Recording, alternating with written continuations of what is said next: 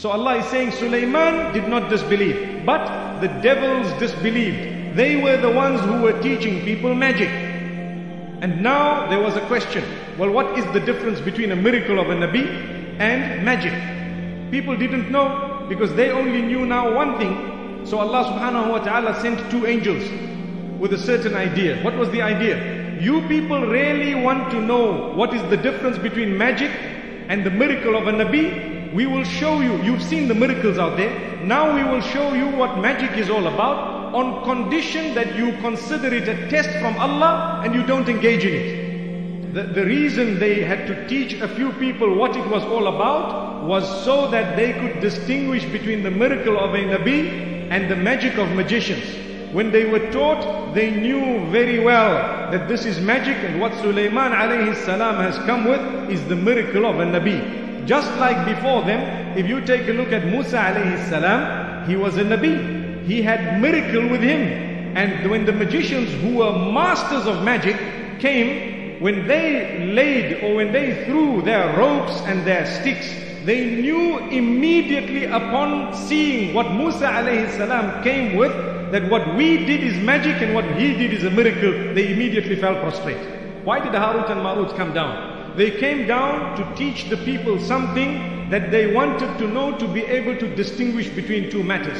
Sadly, when they taught a few people this magic, everyone they taught, they told them something. Look, we are teaching it to you as a test. So do not disbelieve by using this to cast magical spells upon people. If you do that, you will lose your iman, you will enter the fold of kufr and disbelief. Now, later on, these people started using this magic. Why? When they became jealous of one another, and they seen a married couple very happily, Allah subhanahu wa ta'ala says, they started practicing what they were taught. How to split between a husband and a wife. So the magic, one of the first magical spells that people cast very easily is to split husband and wife. They utter the words, worshipping the devil.